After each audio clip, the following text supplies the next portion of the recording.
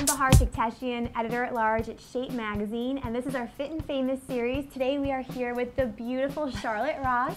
You may recognize her from NYPD Blue, from Glee, and of course she's got an upcoming TV show on VH1 called Bounce. Tell us a little bit about it. It's about cheerleading team that's kind of like the Laker girls, but they're called the Devil Girls in LA um, for a basketball team, professional basketball team. It's kind of the behind the scenes political backstabbing of these cheerleaders, and I'm the sometimes nice, sometimes not so nice uh, head that hires and fires and tells them to lose weight and work out harder. and then Dean Cain is also on it. He plays the head of the, um, he's the coach of the, the basketball team. Well, Charlotte, we know here that you are a fitness fanatic, and of course, Yeah. there's nothing that we love to hear about more. Tell us about what you do to stay in shape. Uh, I work out really hard. um, you know, I kind of changed my body from what I had hereditarily. I really believe that um, if you eat correctly and, and work out, you can kind of have that body that you never thought you could have. And um, I've always loved working out mainly for how I feel emotionally and how it balances me out in terms of not getting as um, my, my temper is less not that i'm crazy I'm, i can sleep better. Everything seems to be easier for me energy wise when i work out.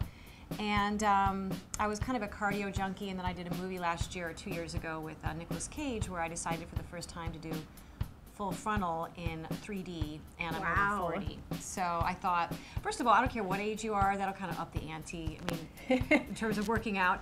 And i didn't have a trainer and i I think trainers are really wonderful, but for me, I think a trainer is really great to educate yourself and to push yourself. And I educated myself with reading magazines like your magazine Thank and a lot of books and things like that, which there's a lot to be learned out there. I would say a few things that really changed for me were incorporating weights into my over cardio. Um, weights really made a difference in terms of I was afraid of getting bulky, the cliche we all think. Right, right. But it's really it's really not true. And then what I would do is then change my diet and eat in a very healthy way. I'm a single mom, so I'm not depriving my body anyway. But our metabolism slows as we get older. Right. So to me, it was about how do I raise my metabolism in a healthy way.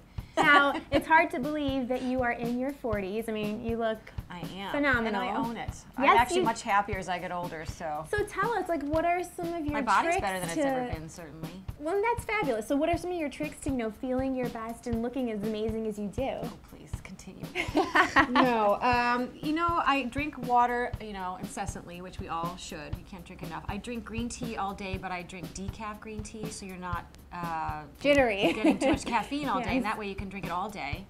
Um, I make sure I have a lot of supplements as well, especially omega three, and um, you know, I just, I just don't prescribe to just because I had a kid and that I'm older that my body is going to be less firm. It's actually harder than it's ever been. It, it's hard work. I'm not going to say this because I'm laying around doing nothing. I work literally my ass off. And Yeah. finally, do you have any, you know, final motivational words to some of our viewers out there who maybe are stuck in a rut with either work or life, or you know, maybe they're just not feeling good about their bodies? What do you recommend to them?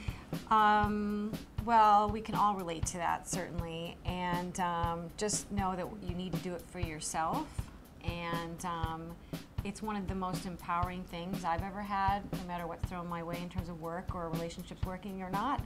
Um, when I'm able to see the strength that you have when you're working out, you really have this feeling of I can I can make it, I can conquer this and just dragging your ass there is really half the battle. And if you can just get to the gym or get to a class, again I think classes are great because you can learn from others and get motivation from others. Just just get there and um, you've done half the battle and you're going to end up working out. For more celebrity interviews, workouts, and tips on shaping your life, go to shape.com slash videos.